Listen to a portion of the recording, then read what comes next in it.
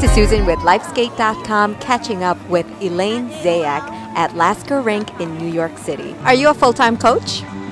No, I'm not a full time coach. I am a full time mom, but I do coach a little bit. I did a lot of coaching for many, many years, and right now my son is really small and I want to take a little break. So I'm just really at the higher level with some of the girls that I've been teaching. So for me right now, I do a lot of the teaching before school ends. So I don't teach after school, I teach during the day, which I love because then I get exercise too.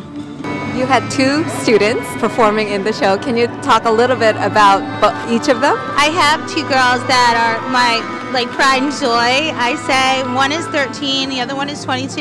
And the one that Joelle Forte that skated, she did like seven triples in her program and she's been in the national and international level and then I have my girl that's 13, and she's my like challenge one that I hope to see in the, the Olympics in 2014. So she's still a little bit young, but we're trying to get her to do all the triples, and we're giving her a little bit of a start to get her out there and perform a lot in front of audiences so she can compete really well. So that's why I brought them here.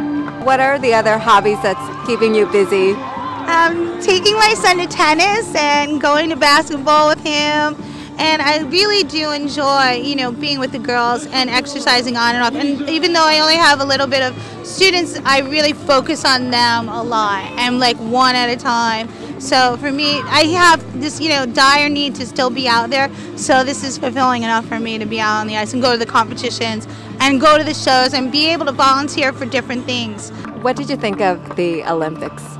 I thought the Olympics this year were fabulous. I was so excited. I watched everything, and it was, I think, the best Olympics, other than the one that I was in.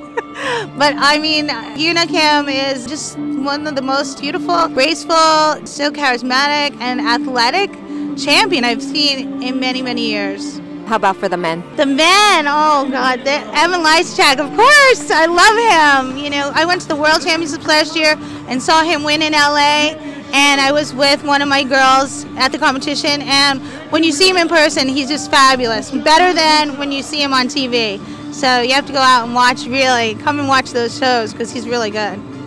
Now, with the new judging system, back when you were competing and when it was just under the 6.0, what do you think? I mean, is the new judging system the, the future? I think that the new judging system still has a little work to go. I think it's so much better, though, than the 6.0. Unfortunately for me, I probably would have won a medal at the Olympics or first even if it had been for, you know, the new judging system. So I'm glad to see it change, but I do think sometimes it's not as fair as it should be. I still some things that need to be worked out a little bit with their um, the point system. But overall, I think it's probably the best thing for the sport.